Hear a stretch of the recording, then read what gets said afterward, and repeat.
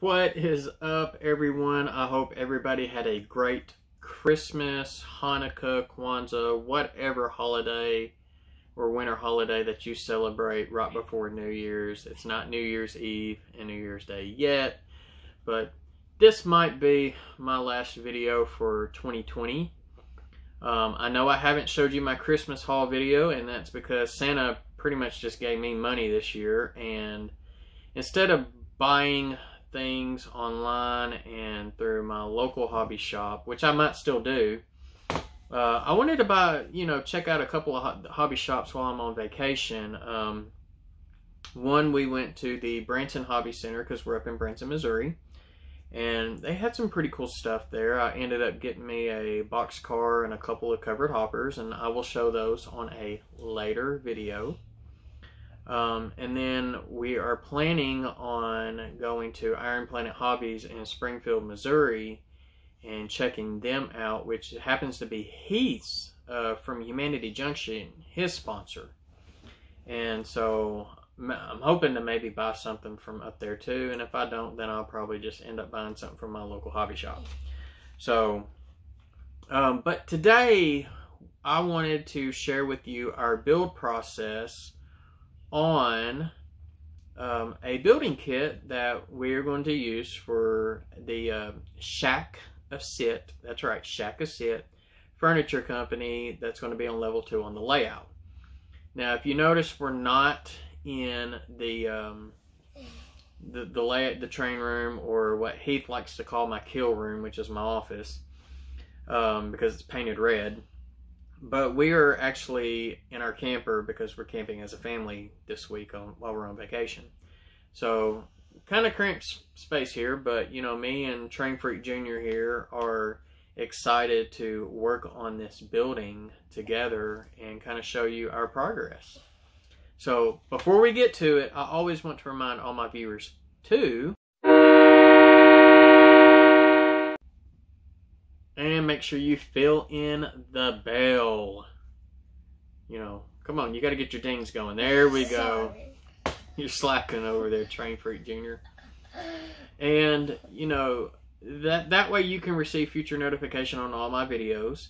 Um, and you know whether it's you know these how-to's like building kits scenery stuff that i'm not real strong at but i'm just trying to show you how i do things my way sometimes i will do how-to's on some you know locomotive decoder installs, which is my stronger suit, um, which I've got quite a few of those to do. I found out had a customer drop off a whole slew of them, and um, you know even things such as my layout updates that I try to do weekly, and you know sidetrack Sunday, and then of course all my contests that I like to hold because I always like to give back to y'all for what y'all giving to me. And speaking of, thank you to the extended supporters of my channel that have you know, signed on through my Patreon, which, you know, is a minimum of $1 a month, um, you know, to, to help fund some of these things such as uh, content for the channel and for, you know, the prizes for the contest, which is that's more or less where it's going to. And then also thank you to those who have actually bought uh, some pretty cool swag off my Teespring store. Um, and um, which I plan on trying to get some Train Freak Junior stuff on there too. Um, hopefully, I can get get involved with that here in the next couple of weeks or so. And for those who have even just sent one-time donations on my PayPal.me. And if you're interested in doing any of that, the descriptions are in the link below. So you can just easily do every bit of that. So enough with me chattering, I guess. Um, let's uh, let's get to the actual building kit, what it looks like, and what our plans are. So, sorry, I got to cover your face up. This is the Walthers Cornerstone Heritage Kit. He's giving me the evil eye back here. I can sense it. Um, this is what I'm using for Shack Sit. And what I really like about this, this is a backdrop building. Um, whoa, yeah, I've already opened the plastic and I'll explain why. Is that the box cars actually kind of go up under the building, which I thought was really cool. And so I am going to light this building up, and which I do not have the LED lights with me, but I do plan on lighting it. And I'm thinking about even lightning under this roof here above where the box cars would go. Thinking about it. Not 100 on it yet, but I'm thinking about it. Um, but the main thing that we went ahead and did was we went ahead and painted just the base coat, uh, you know, to get a, color idea of what we wanted to do with it. And my wife, um, Amanda, she was actually the one who picked out the colors.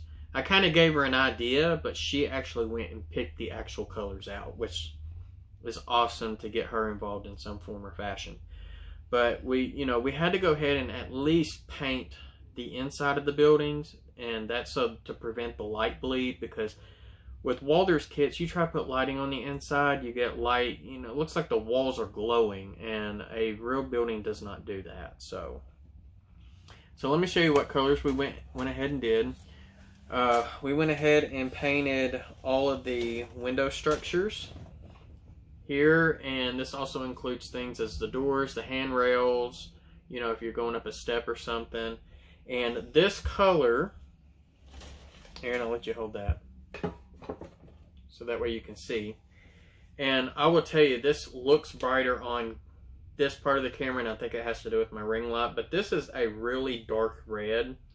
Um, you can get this at Walmart. This is Rust-Oleum, and this is a satin, and it's called Colonial Red. Um, I think Lowe's or Home Depot carries this brand as well. But um, it's a real, real deep, dark red, and um, she thought that would stand out really good because you didn't want anything like a really bright red. So it will help make the building pop. Um, it does seem brighter on here, especially when I move it up closer. Yeah, it's pretty bright on here. So, um, but we went ahead and painted both the fronts and the back on these sprues here. And what we will end up doing before we start gluing is we will take our hobby knife and I'm going to use the back side and just kind of set it straight up on top and slide it side by side where we're not at an angle and it will actually help whoops peel off some of the paint and the one I was working on was this one here so and I mean you can see the paint on my, my brush you don't want to go at an angle because then you could actually damage the piece so you want to kind of you want to be perpendicular to it and just slide it back and forth and it just slowly scrapes that layer away. So that way you still got paint where you want it, but you don't have paint where you don't need it. And when you try to glue these together, if you got paint there, the glue's just not going to hold. So, hey, that's a tip from the train freak. So, as far as like the bay doors, I mean, we still got a good I think it would be like this. This would be like for an 18 wheeler truck, and then this one's going to be for the actual box car. Now, because this is a backdrop building, there are a lot of pieces on here that we're not going to use, but it's just much easier just to go ahead and spray paint everything on the sprue at once than trying to cut them out and, you know, paint them individually, blah, blah, blah, blah, blah. So, all right, as far as the next color, uh, the roof, I didn't paint the top, but I did paint the bottom and the base, I painted the top because that's just how it was on the sprue. But this is the bottom of the roof. It is a, just a standard flat black. That's all it is, flat black. Nothing impressive. All right, Sleepy, you better wake up. Sorry. And I know, I know I'm boring you right now, and I'm probably boring y'all too, but I just at least want to give you this information. Um, but the cool thing about this building, if you see these grooves in here, you don't necessarily have to cut a straight rectangle. Uh, the grooves are designed so that way, um, if you wanted to angle your building along the backdrop, you can actually cut that angle out and then say this piece here is not going to exist. And then this piece here is touching your backdrop and that's touching your backdrop and your building's kind of angled and offset. That, that's an option with this building kit, which I think is really cool. This is just the base. Um, but we did go ahead and paint it flat black just to prevent light bleed. We did the same thing on the back side of the walls. So this is the back side. This is the front side. The front side we went ahead and painted a Rust-Oleum camouflage. And this is the khaki color. Now of course it doesn't say khaki on the can or I have yet to find it. Uh, the only place that it shows where it says khaki is you have to go to the barcode back here on the back and it says khaki. So, and I think that's just how Rust-Oleum's camo colors are. So this is a khaki. And we're actually going to, well, this is actually the right way. That's your truck bay and this is where the box cars would go in and out. Um, so this is actually um, just the base coat. We're going to add more color to it. So don't worry. And that we might show a little bit on camera how we do that. Um, but that's really where we're at now. So as far as gluing these together, let me get the lights and stuff out of the way. Um, first, you definitely need some of these to cut them apart. And if you're wondering, my black spray paint kind of messed up on me yesterday, so I got droplets of black on my hand. I can't get it off. Um, so my hand looks like a Dalmatian, but it only got on my hand. Um, you get plastic weld or plastic cement of some type that will kind of, you know, hold it and melt your joints together. But it does not work on paint, so make sure you scrape your paint off first. Only in the areas that you're going to do that. I like to use one of these. This is a, it's just a magnetic tray from Micromark, and they've got it to where these are, you know, 90 degree corners, so you can put your building pieces in there, and then just use these super strong magnets to just to hold it up in place while your glue is setting. Um, works really, really great. Um, and then, of course, behind the windows, we're going to slap some light diffusing window film. And I got this from the Branson Hobby Center, and it was like 18 bucks. So, um, it's basically so that way when I put the light in there, we can't really, I don't have to worry about detailing the inside of the building. Uh, the backdrop buildings, I think, do not have a back to it, so I might have to get some styrene later and slap a back on it. But um, as far as the lighting goes, I definitely want to have the inside of it lit. You know, the uh, second, I don't know how many floors, second, third, and fourth floor. And then also install some lighting over the, you know, the, the bay area. And I might install some lighting on the outside, like lamp fixtures and stuff, later down the road. Haven't thought too far into that part yet. Okay, so as far as the exterior paints, um, what we got here is we've got a design. So we wanted to kind of add a little gray or to make it look like uh, kind of like a granite type color here and in the two boxes. And then the cinder blocks here, we wanted to give kind of like a different shade. So um, Aaron's got four technically five different paints here, but we got one paint in case if we mess something up, we can, uh, you know, hopefully get it corrected without having to use that whole rattle can again. So, Aaron, um, what colors do we have here for uh, the paints? And you gotta make sure you show it to them. Uh, we got light matcha. Mocha. Mocha. Sorry, I'm kind of a terrible name reader, sort of. All right, so we got a light mocha. And we got um, Sun Kissed Peach. Ooh, Sun Kissed Peach. Okay. Yeah, I know the glare of the light is not helping. The direction. It was, um, and we also got a Country Gray. Country Gray.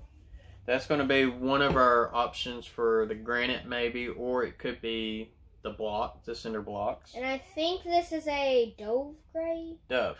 Dove Gray. Yeah, Dove. And that's a different brand. This is one that I actually picked up at.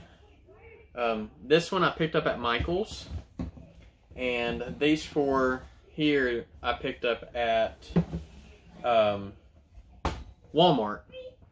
And the, the fifth color that Aaron didn't tell you about is it's just a standard khaki. So, and it sounds like uh, our neighbors are getting pretty active out there. I don't know if you can hear them in the background or not, but it's it's cool if you can, and if you can't, hey, that's even cool too. So um, I think what we're going to go ahead and start doing now is we're going to go ahead and start trying to get our pieces together and go ahead and get some gluing done before we start doing the actual main or paint touch-ups, whatever you want to call it. So we're going to get to that and then we will be back here shortly. Okay, so we got one side put together. And I mean, to me, this looks really, really good. And with the red, it just kind of really pops out. And one of the things I went ahead and did was I put the diffusing film on the back. And it does have a tint. But if I hold this up to the light, like that, you can see where the light goes through it just fine. And of course, as soon as we take it off the light, it gets dark again, which is really, really neat. So, well, that's one side down. Now I got three more to do, and one side is like two of these. So, um, I think I might go ahead and try to get Little Freak to start painting uh, some of this one and with some of those colors we mentioned earlier. So uh, we'll be back. Alright, so I went ahead did the basic painting of it. And of course the sections that are going to be glued together I will have to scrape paint off, but there's not really going to be any on here. So this is the front. Of course the two sides. And this is going to be, that's the front of it. Of course, I've also painted the uh, base section, which sits behind these pillars here. Um, and then as far as my painting goes, um, Aaron, or Train Freak Jr., helped me, you know, with the uh, concrete squares and stuff on here. And I know it's not perfect, but hey, from a distance, it looks amazing. And I did some touch-up paint with this uh, khaki and it was not the same color as the original khaki, uh, the spray paint that I put on there. So I basically had to go in and repaint everything, but what I did was I left br brush strokes on purpose. And that, with that, that two shades of khaki, Rust-Oleum's khaki and this Apple Barrel khaki, it kind of gives a good little weathering effect on there and you can see where I did it there as well. I went ahead and painted um, so all the concrete stuff or granite, whatever you want to call it, the transoms above and below the windows, the two squares. I used this um, Dove Gray. Um, and then as far as the you know, I already showed you the khaki as far as the background goes. Um, as far as the actual bricks, I used a mix and I just randomly did it. There was no set pattern, but I used a light mocha, sun-kissed peach. There we go, sun-kissed peach. And country gray. And if you're asking as to which ones are which, um, if we go here, the uh, lighter one right there, that is that Sunkissed Peach, and these three here is the uh, light mocha. And you probably saw a blemish there, but I'm not going to worry about it. So, um, I will tell you, invest in uh, not cheap paintbrushes. I mean, these things are crap, but hey, it got the job done, and I didn't feel like getting out and going buying any more paintbrushes. So, um, I think that's really all the only other pieces that need to be painted right now. Um, I know there's going to be some corner pieces to go here and here. And I'll probably go ahead and get those glued on first before I start painting those. So, alright, well, um, I think I'm going to go ahead and start gluing things together. And I will be back with y'all later. Okay, so I wanted to share something that trying to put this kit together, I have been getting frustrated. And that's because Walthers has given me the wrong instructions. Their instructions are freaking backwards. Let me explain. up here, these instructions and these instructions talk about you get your pieces two, which is the front, three, four, and piece eight, which is this piece here. And it is talking about go ahead and glue in all your windows and the backings and whatnot. Get it all glued together before you start gluing walls to each other. So I did that. Even went as far as installing the uh, film tape to go on the um, the back of the windows or the, the light, you know, the light diffusing film from Woodland Scenics because I plan on adding lights in here. So I did all that. And as the instruction says. Then it gets down here to step 10. It says glue the walls 2, 3, 4, and 8. 2 is the front, 3 and 4 are the sides, and 8 is also the front, but it's where the bay is. It kind of offsets inwards. And glue 3, 4, and 8 to the base. I'm like, okay. So I start trying to figure out how to do that. And I ran into the issues that the walls would not glue together because the windows were touching each other. So I was like, that's fine. I'll just pop the windows off of the sides. So I done that. Okay. Then I start trying to add this little under roof piece here to create some extra stability. Um, you know, to make it easier because it's just much easier if you add instead of adding one here, one there, and one there, and now you got two walls that are unstable, you might as well just find another step and add something in there to make it stable like I have done. Did that. Well, when I did that, everything was off kilter. It was not not sized properly. I'm like, well, what the hell's going on? Let's fast forward reading a little bit further.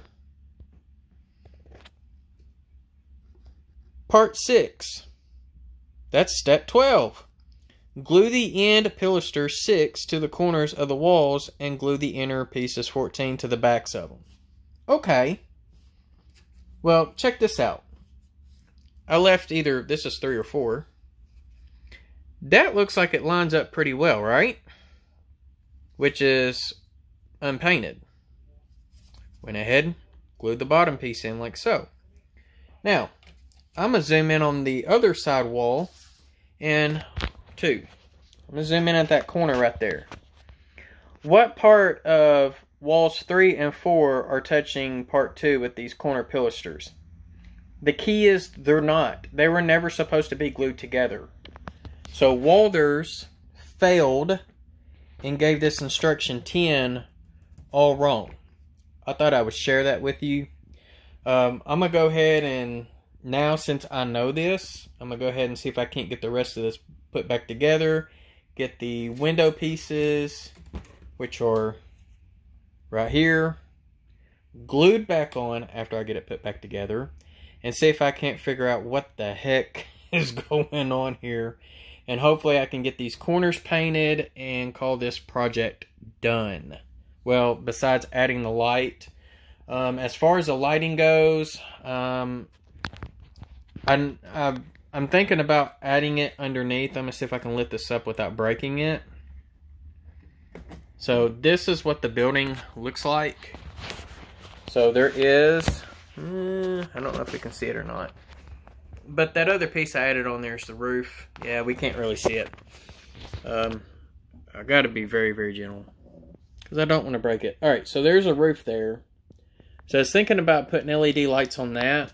And then as far as lighting the interior portion of the building, yeah, we got to be very, very gentle. Very, very gentle. So, okay, so you can see the underneath of the roof now. That would be this piece here. Um, as far as adding the other light, should I put it here on the top? This piece here is supposed to go if I get my hand out of the way, right in there somehow. I might just add the light back on here on the back side of these doors. So that way the light will kind of project back and then outward. I think that might be the best bet. But the cool thing is, is this is where the box cars are supposed to go. Which there's one door for receiving and one door for shipping. which I thought was pretty neat. So, and they should hold two 50 footers. But, yeah, I'm going to go ahead and see if I can't try to get this finished up. Front looks very, very good. So, in my opinion, especially with the uh, bricks being off colors. So, all right, well, I'll be back. Stay tuned. Well, here is the finished product. This is going to be the Shakasit Furniture Company. Give you a, you know, flat level look. Um, there'll be a track that will come in here. And one side will be receiving, the other side will be shipping. I can even put 18 wheelers off to the sides. We got the bricks all in different colors. Well, it's actually three colors, but I already told you which ones. And as far as lighting goes, um, you can see the Christmas tree kind of through it. Um, what I'll probably end up doing is um, probably putting the lights underneath the roof. I tried putting like a little flashlight, you know, behind the two bay doors.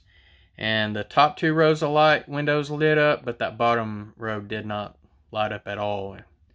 And on the sides it kind of had a 45 degree angle, so there was definitely a shadow cast on it. So I'll probably just have to install the lighting uh, on the roof and then I will more than likely install lighting under here as well. So, all right, well, y'all, this wraps up this um, Walthers Cornerstone kit. I uh, want to remind you, if you haven't subscribed, to make sure that you do subscribe. Fill in the bell so that way you can receive future notifications. Thumbs up, that helps with the YouTube's algorithms. And then, um, you know, you can always feel free to comment. And then if you do want to be an extended supporter of this channel, feel free to check out my Patreon, my Teespring, and my PayPal.me, which the links will be in the description below. Well, y'all, um, this is probably going to be my last video for 2020. So I wish everyone a happy new year. Be safe out there. Um, this this showstopper thing is not going away anytime soon, it looks like. So please be safe. And y'all have a great and fabulous rest of the week and weekend to come. Take care, everyone.